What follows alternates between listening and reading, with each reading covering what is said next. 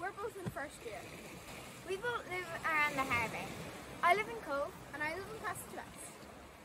We entered the ECO-UNESCO Young Environmentalist Awards in January. We spent a lot of time on the shoreline of Cork Harbour, and recently we have we have noticed that the litter on it is mounting up. We decided to find out where this litter was coming from. This litter comes from a lot of places, but we discovered loads of it comes from the roadside.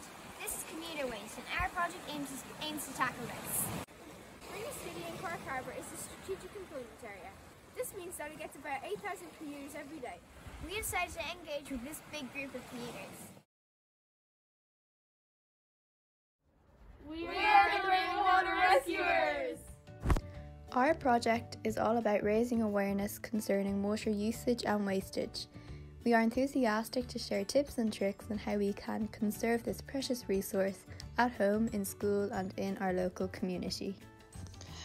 We raised awareness to our Instagram account, posters, and a Google Slides presentation that was shown to all classes in the school by showing tips and facts on how to help the environment. Our main action was buying and installing a 210 litre water butt in our school to collect rainwater to water the school horticulture garden. We made two donation boxes to raise money for the water butt and gave sweets to anyone who donated. Another action we took was suggesting a rainwater harvesting system for our new school building.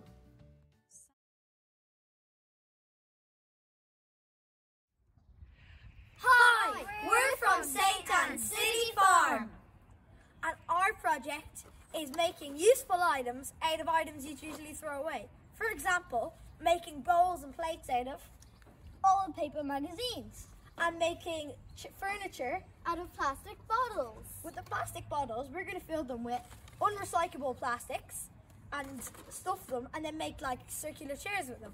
And with the magazines, we're going to coil them up and then make bowls out of them.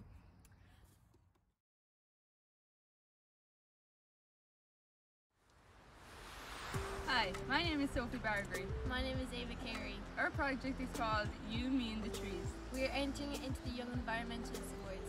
Right now, we are working to spread awareness about deforestation in our school and our community.